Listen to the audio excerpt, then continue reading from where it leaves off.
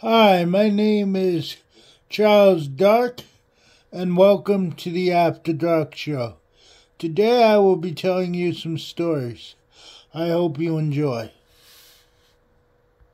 Nice to Aunt Martha. She could live another 20 years, Brittany said. Unless we help her along, Todd said. She takes a dozen pills every day. It would be easy to overdose on the wrong combination. He said it as nonchalantly as if he were discussing what to have for dinner. Brittany looked at the house again. It gets too hot in Phoenix, she said. We need to get that will. Then we'll go to Auntie's apartment and help her take her medicine. An ancient Ford was parked next to the house. We'll take Aunt Martha's car, Todd said. In case the cops are looking for mine, she leaves the keys in it. This time, Todd drove. After I lay down on the back seat, I peeked at my phone, hoping to see a message from Mom saying that help was on the way. The phone was dark. My battery needed to recharge. My texts had never been sent. Fear and despair washed over me. As soon as Todd and Brittany realized there wasn't any will, I knew they'd shoot me. Brittany said, Let's go, let's go, and the Ford shot forward. Seconds later, Todd swore and hit the brake. I sat up. Two squad cars, blue lights whirling, blocked our path. Police! yelled a voice. Get out with your hands in the air. Two officers approached. Stay down, Todd told Brittany. She put her head on her knees. He grabbed the gun and rolled down his window. He was going to shoot the police. As he raised the gun, I attacked from behind. My hands circled his throat, jerking his head backward. The gun fired into the air. Todd struggled. I held on. He pointed the gun over his shoulder at me. Bang! I heard the bullet whiz past my ear and shatter the back window. Brittany looked up, then dug her nails into my arm, trying to pull my hand away. Bang! This shot came from behind the Ford. One officer had sneaked around and approached from the rear. Todd yelped and dropped his gun. Police quickly surrounded us. It's your fault, Brittany cried. We would have been rich. An officer read Todd and Brittany their rights. They were frisked and handcuffed, and Todd's minor arm wound was treated. An officer took my name and asked if I was okay. Yes, they were going to kill me. You saved my life. And you saved ours, he replied. Is there an older hostage too? No. How did you know I was here? We didn't. A police detective followed a tip from a burglary victim and went to question the owner of this property.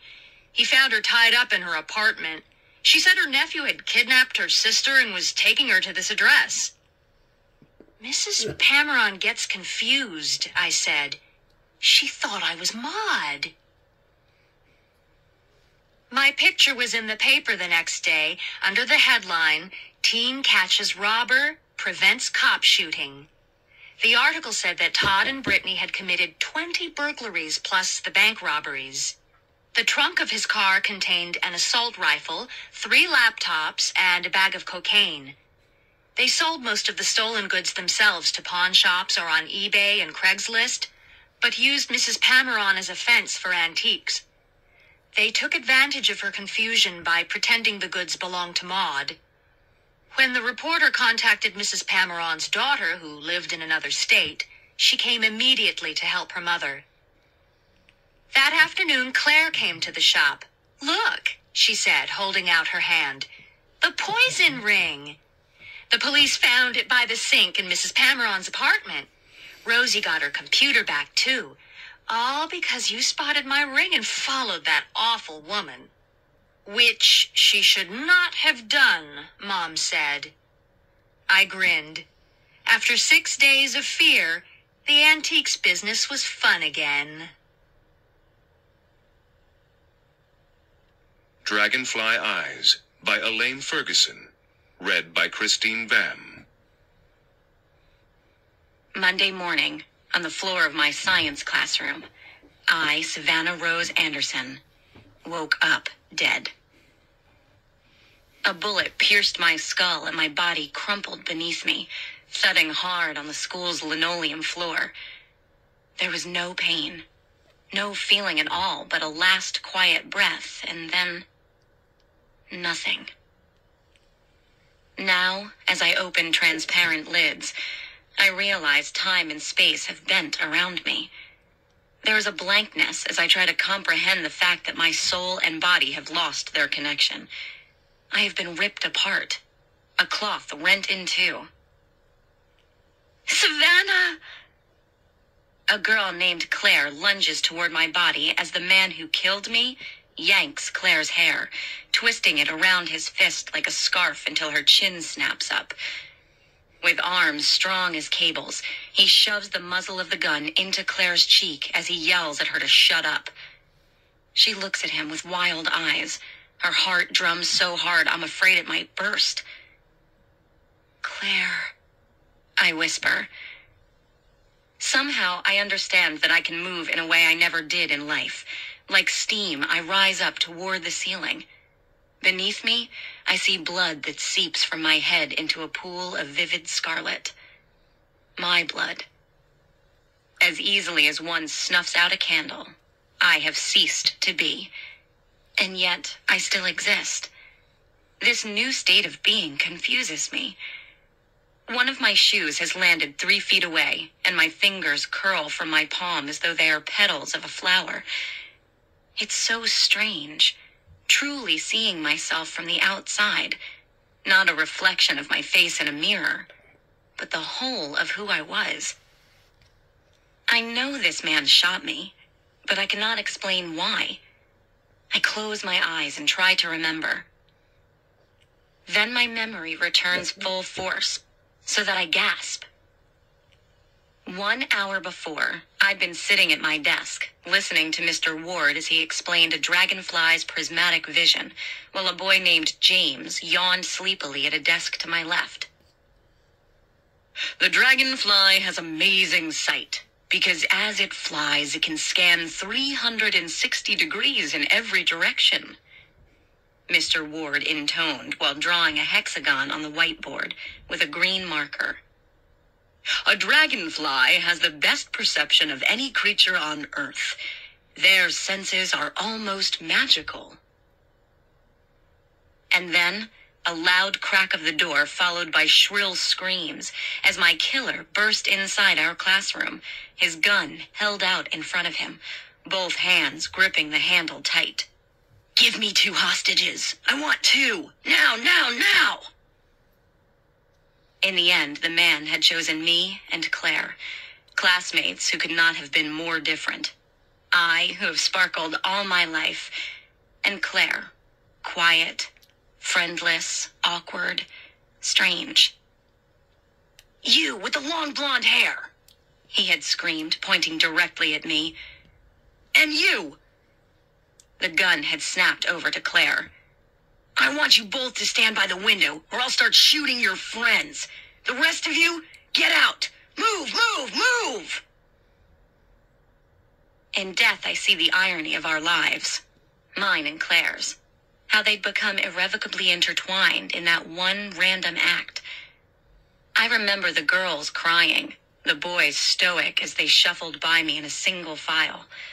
How Mr. Ward had tried to stay in the room but was forced to leave when my killer shot the window so that the glass exploded onto the countertop in a galaxy of stars.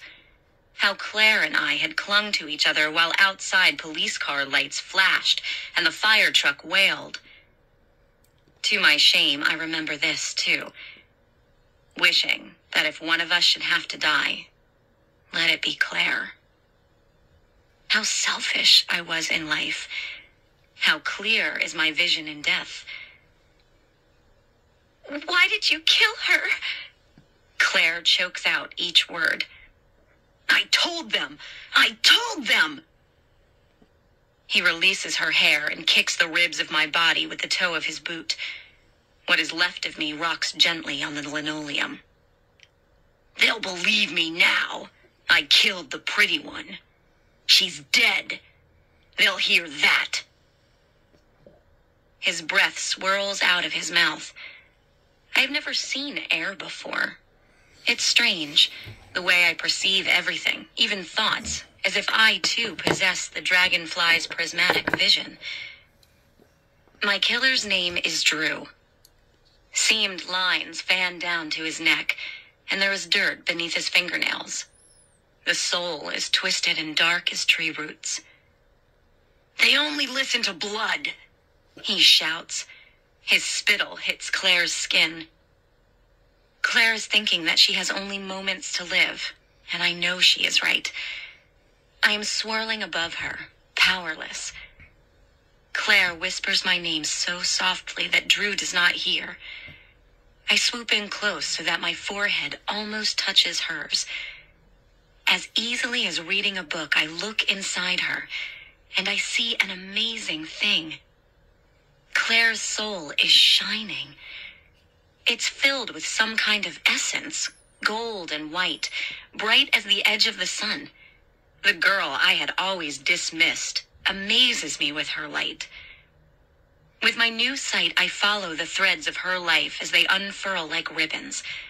I follow one and see how she loved James quietly, too shy to speak. There is Claire making dinner in a tiny kitchen, laughing as she drains noodles. I see her looking in a mirror, her mouth pressed into a thin line until she sighs and shakes her head as she walks away. I watch her read a book to a small boy.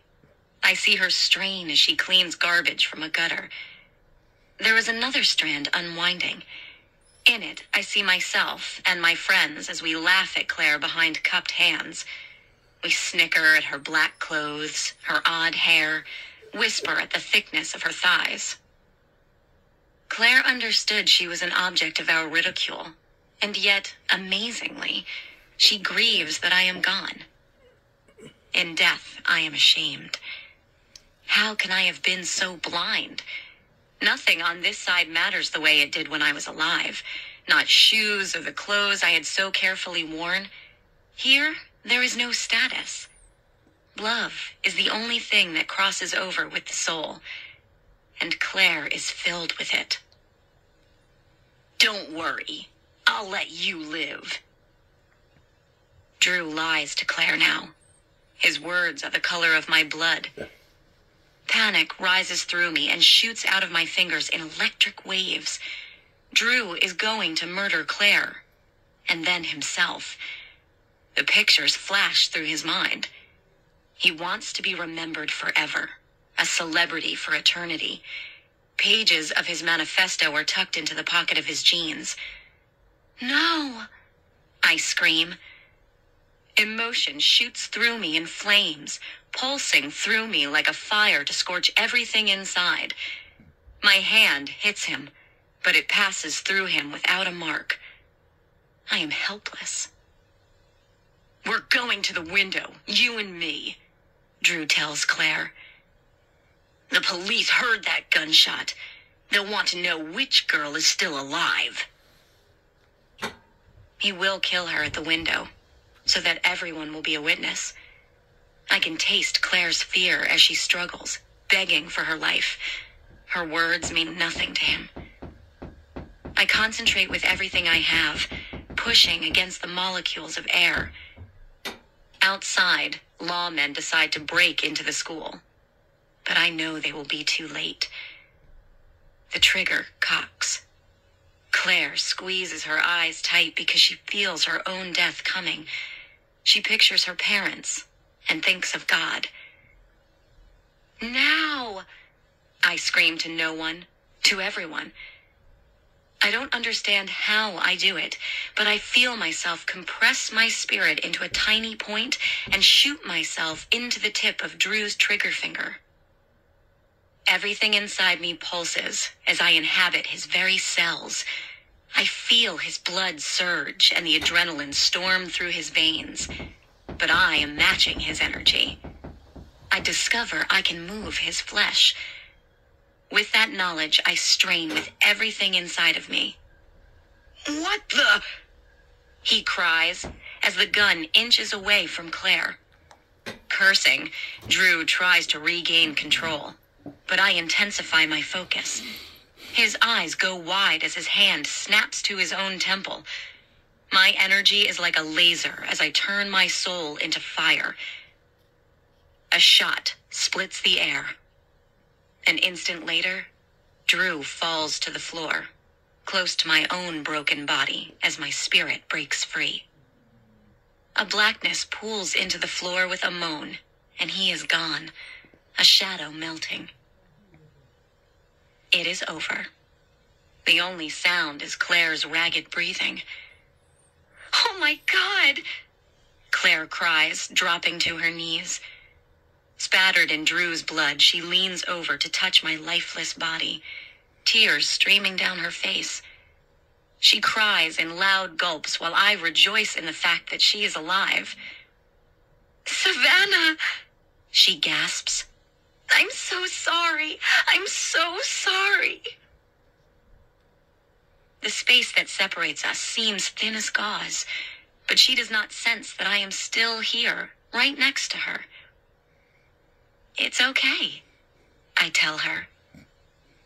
I stroke her head, my hand brushing the coils of her red hair, but she cannot feel me. The energy I had has dissipated, and I am once again without touch.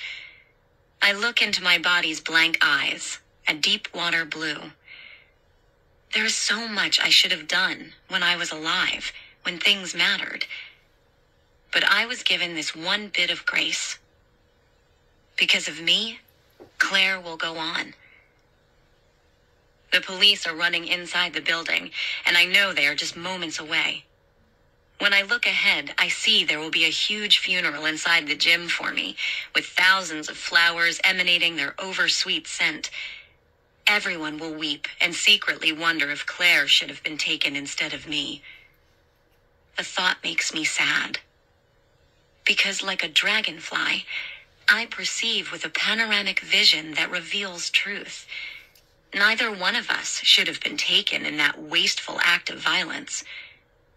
But it is Claire, not me, who is destined to accomplish amazing things. The girl I ignored will leave her mark on the world in a way I never could. To know this helps me accept my fate. The understanding is bittersweet, a lesson learned too late on Earth. And yet I see a new purpose in my lingering here. From this side, I believe the right girl lived. And I'll be watching her every day until we meet again. Jeepers Peepers by Ryan Brown. Read by Eileen Stevens. Darkness had fallen, but the late August air still hung hot and thick over the bayou when Elizabeth Nolan finally reached her destination. The babysitting job had required her to leave her own neighborhood, where the roads were actually paved, and drive halfway around the lake after dark. Seething at the very idea, she almost turned for home right then, but she knew she couldn't. She needed the money. School started back next week, and she had no fall wardrobe to speak of, and a summer spent mostly at the mall or lying by the pool had left her flat broke. And that's not to mention the good old take some initiative, show some responsibility speech her parents had been giving her. Resigned, she turned off the ignition. Her ears buzzed with the screech of the crickets and cicadas in the surrounding woods. She opened the driver's door and heard water trickling in the distance. And to her horror, from somewhere much closer by, she heard the wet, throaty croak of a frog. Great, she thought. Frogs. How fan freaking tastic. Steeling herself, she stepped out of the car. The house was a single story shack, tucked under sprawling live oak limbs that wept streams of moss onto its corrugated tin roof. Funny thing about those moss strewn trees, she thought. Lining the manicured fairways at the country club near her house, they offered a certain majestic beauty. But out here, they had a much more depressing effect, adding to the ghostly gloom of the place. The house was as square as a cracker box and sat at a tilt on crumbling cinder blocks. It had a screened front door, beyond which a dull light glowed. But Elizabeth couldn't make out anything except yellowing walls inside. A female figure appeared behind the screen. You're late. Elizabeth stepped onto an elevated porch riddled with rusted tools and bald tires. Yes, I'm sorry. The woman didn't open the door, but remained a faceless silhouette behind the screen. You near enough made me late. I can't afford to get myself fired, you know. Not my situation. Despite the hostile tone, her words came out slow and cool, almost in a whisper. Elizabeth swallowed hard. Again, I apologize. It's sort of a long way out here, and I got a little lost past the fork where the road veers off into the, um, swamp. Pardon? Call it what it is. City folk'll call it the bayou, but I say call it what it is. Well, uh, anyway, I got here as quickly as I could. It was a last minute call, so I had to rearrange my schedule and everything. I had no choice about that. I was desperate. No one else would come. Elizabeth didn't even want to think about the meaning of the last comment. Well, I'm glad I could help out, she said, trying to lighten the exchange. She reached into her purse. I've got a list of references here if you'd like to see them. Would have done. But I don't read too good, and I hadn't the time anyhow. You been sitting kids long? Since eighth grade, and I used to babysit my cousins sometimes before that. Elizabeth sensed the woman sizing her up from head to toe, studying her. Well, she sighed, I got no choice. You're here, and I gotta be off. So where's, uh, Webster? Wilbur. Right, sorry. Wilbur. He's gone to bed already. Maybe he won't need no tending to at all. That's fine. I'm sure I can keep myself busy with. Then again, there's times when my Wilbur needs a little. The woman's words drifted off. She drew a deep breath, then exhaled slowly. Well, sometimes he needs a little extra care. I hope you can see to that. Her tone had grown eerily sober. Elizabeth waited a few beats for further explanation that never came. You mean bad dreams? She said. Well, sure. I think I can handle that. Is there a number where I can reach you? I could call if I thought there was any reason for concern. Ain't no phone here.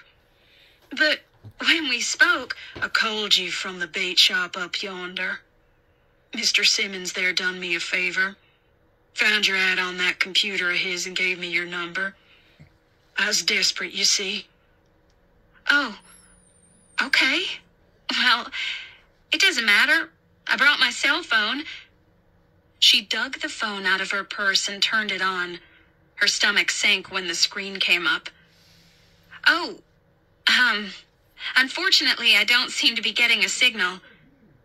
You know, I would stay and tend to him myself if I could, the woman said.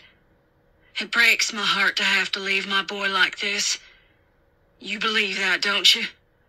There was a tinge of sadness in her voice now. Elizabeth stared into the faceless shadow. Well, yeah. I- I'm sure if you could. God Almighty, how I hate to leave him. Especially especially in his condition. The implication made Elizabeth uneasy, but the woman continued before she could ask the nature of the boy's condition. But I got no choice, do I? I got to work to keep him fed and tended to. Look after his needs and such. It's just me and him, you see. Elizabeth nodded. Yes, I think I understand. So is there anything special I need to know? Anything you need to know, you'll find out, I suppose. It wasn't the answer Elizabeth had hoped for. She slapped a mosquito feasting on the back of her neck. The swarming insects were the only thing making her eager to get inside. I think I can take it from here. You shouldn't be late for work.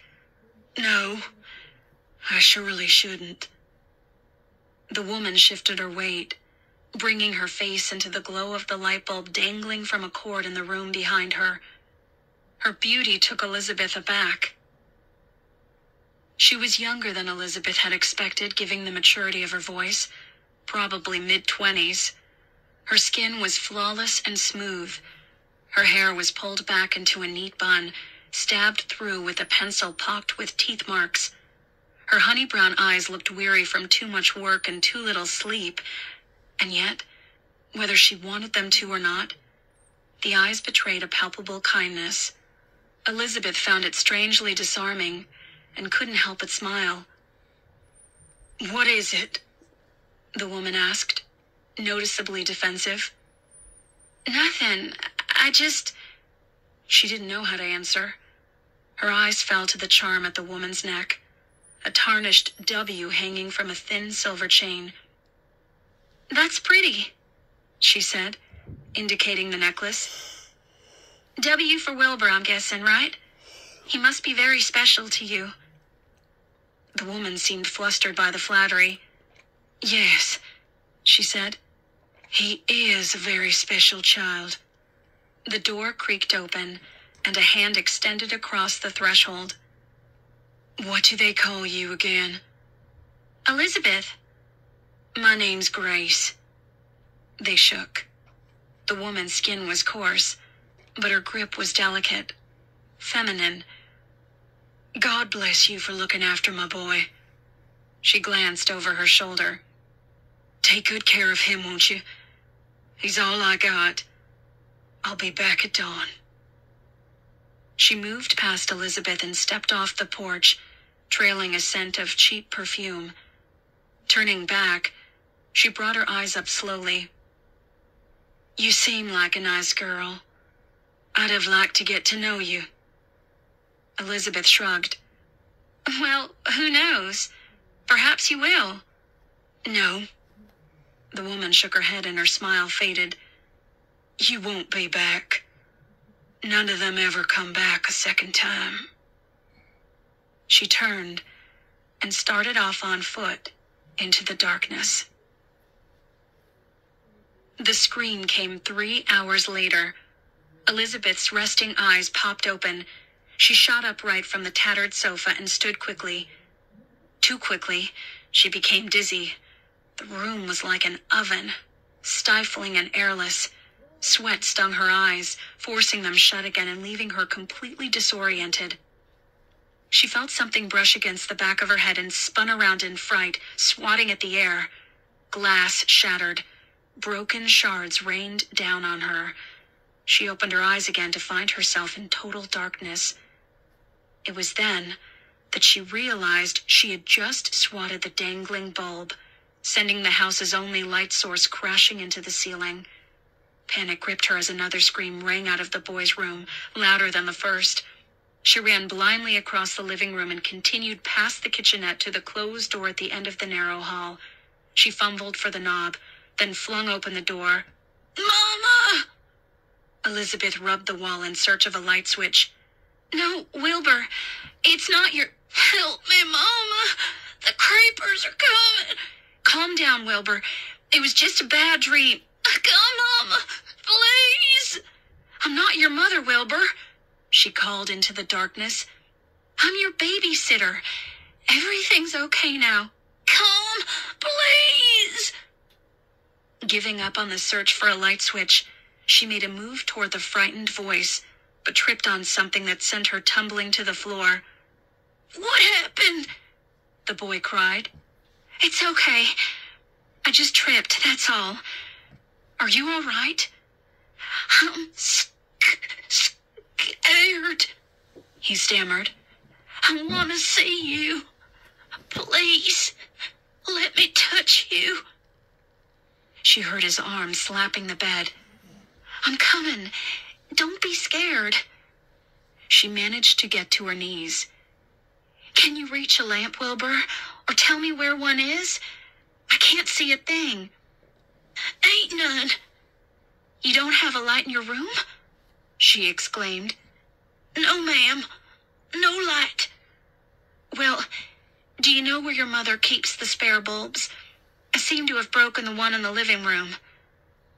Don't know about no bulbs, he said. She keeps matches in the kitchen, though. Candles, too, I think. I only know 'cause she told me never to mess with them. I'm going to step back into the other room and get them. No!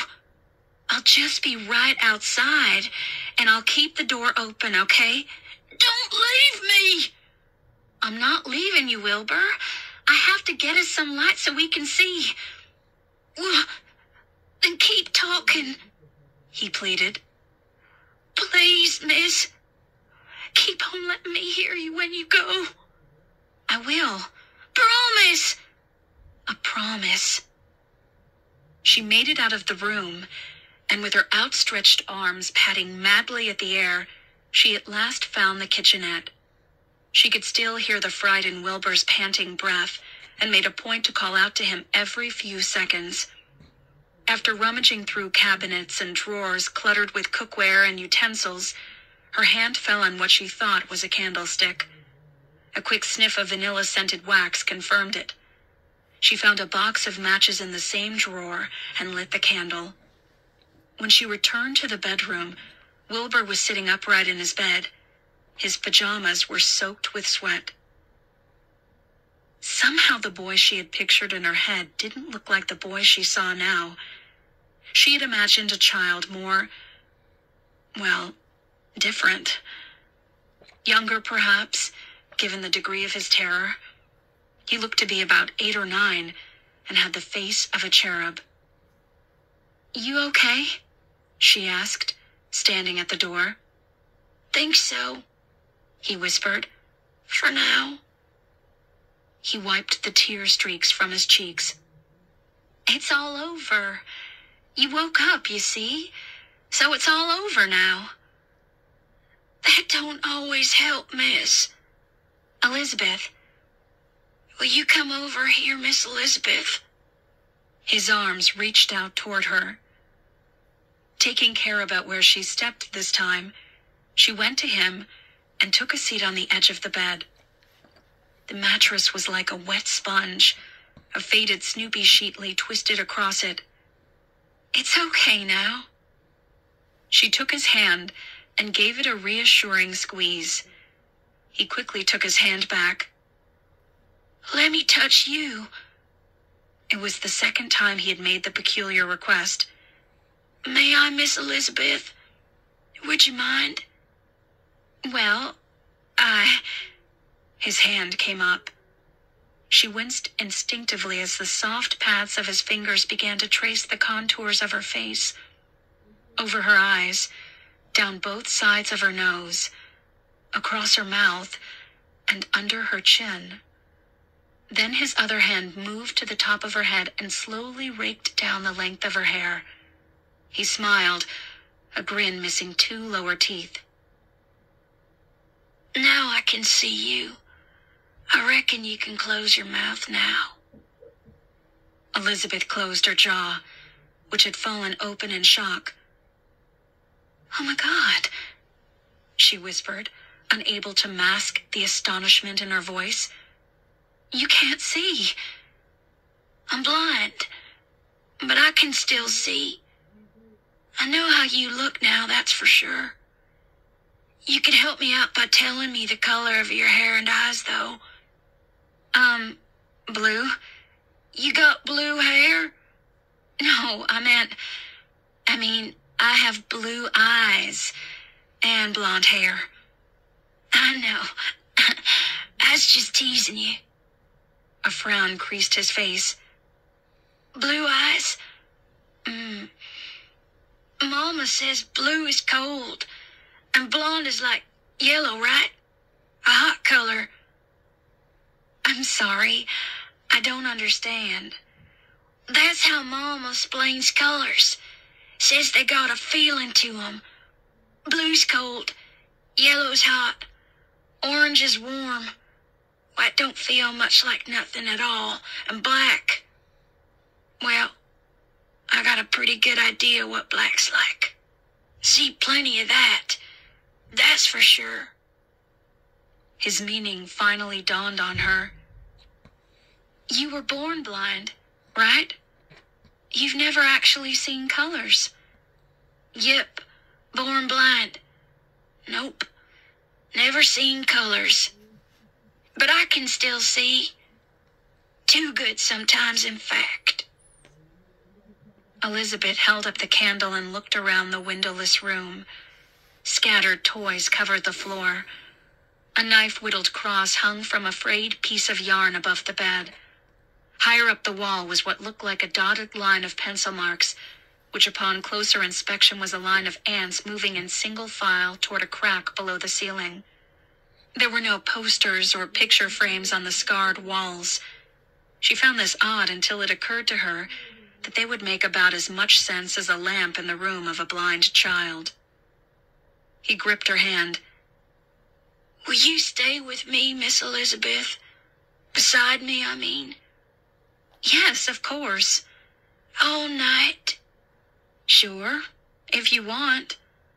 Are you hungry? No, thanks. Can I get you some fresh pajamas? These are all I got. These here Spider-Mans. They are Spideys, aren't they? Sure are. How about if I go and get you a glass of water? No! His grip became a vice on her arm. Stay! All right, Wilbur. I'll stay. Satisfied, his grip loosened. His head fell back to the pillow. Elizabeth pulled up the sheet, using a dry corner of it to blot the beaded sweat from his brow. It's late, she said.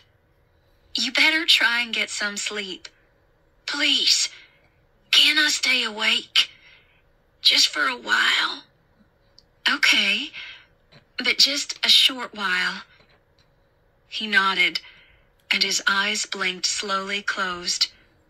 Thunder rumbled in the distance. Wilbur's body shuddered at the sound, but Elizabeth's calming hand settled him again.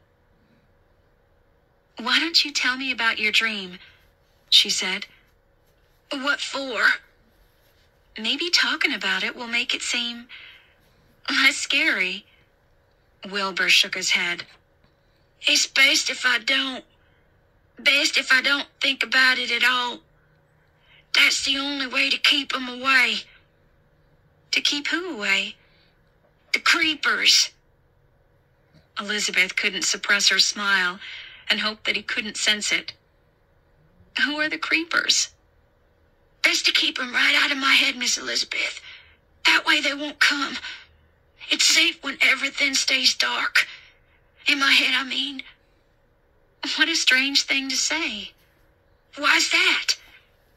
Most people feel just the opposite about the dark. I know when I was a little girl, I was very frightened of it. Not me. I feel good when I just see the dark. It's when stuff starts getting into my head that things go bad. Like when you have a scary dream? Yes, ma'am. Or even when I just get to thinking on scary things. I was always taught that an active imagination was a good thing, especially for little boys. Wonderful things can come out of it. Bad stuff, too, he whispered. Especially for someone like me. Like you? Blind folks. Mama says folks born blind don't know the way things really look. Just how we imagine 'em. And she says some blind folks even have a heightened imagination. Sounds like a pretty neat gift to me. Yeah. But sometimes mine gets heightened too much. Sometimes when I get to thinking on things I see in my head, those things just get a little too real. Elizabeth's eyes drifted down to the candle, which had dribbled a puddle of wax at her feet. Wilbur, what do the creepers look like? They're changing all the time. Depends on how I see 'em in my head, or maybe how I dreamed 'em. You understand? No, Wilbur. I'm afraid I don't. Can you explain it to me? His eyes opened again. Please, Miss Elizabeth, don't get me thinking about 'em. But I think it might help. No, please. He sat up quickly. I shouldn't be thinking on it. Panicked, he pressed his back against the headboard. His heels dug trenches into the mattress.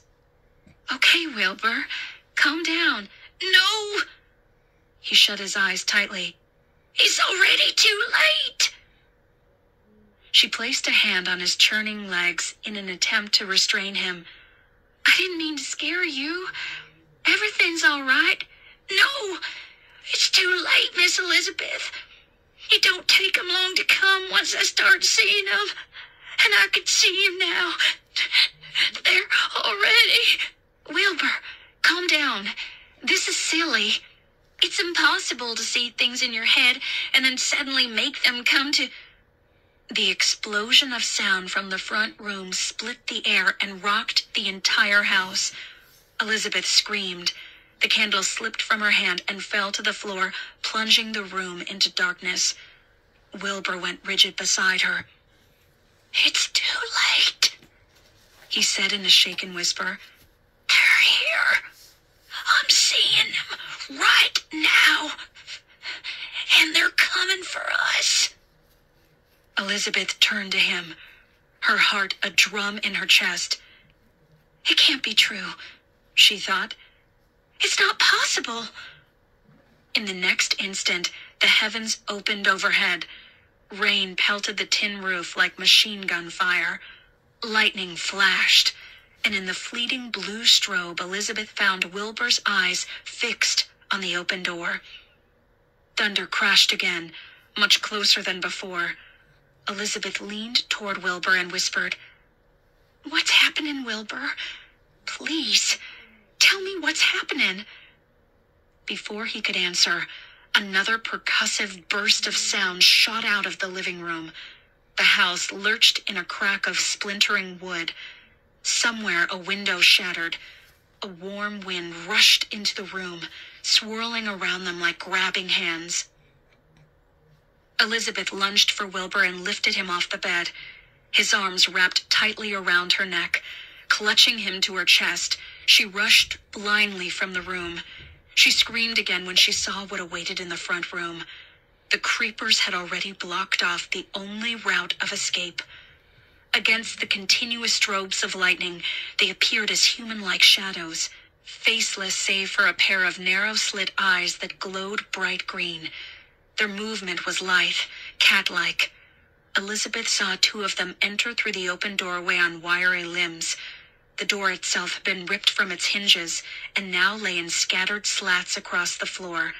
Another creeper entered to her left, slithering over the jagged shards of a broken window set high into the wall. Once inside, the creeper proceeded to crawl headfirst down the wall until it reached the floor and came back up in a low predatory crouch. A cloud of dust plumed into the room. Elizabeth turned. Another creeper had come in through the chimney and now stood coiled in a sprinter's pose atop the ashes in the fireplace. A cannon shot of thunder shook the house. Wilbur buried his face into Elizabeth's shoulder. Make it stop, he cried. Please, make it stop. Don't let them get me. But the creepers were already circling.